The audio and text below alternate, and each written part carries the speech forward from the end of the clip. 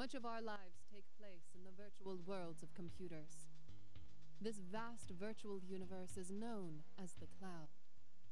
The power of code, the laws of these virtual worlds, is beyond measure.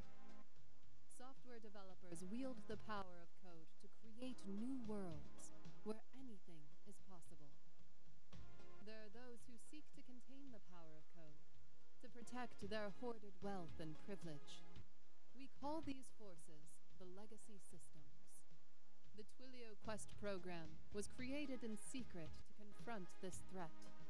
They would recruit and train an elite corps of software engineers, known as operators, to explore and safeguard the wild frontier of the cloud.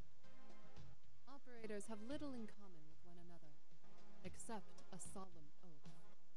To use the power of code only to unlock hope power, and freedom for all of humanity. You are an operator, and you have been asked to undertake a critical mission.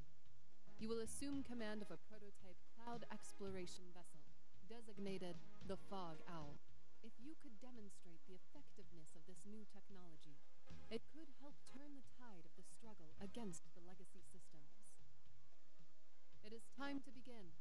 Your neural interface should already be programmed with the location of our secret research facility. Twilio Quest scientists will provide further information upon your arrival. Good luck, operator. We'll see you in the cloud.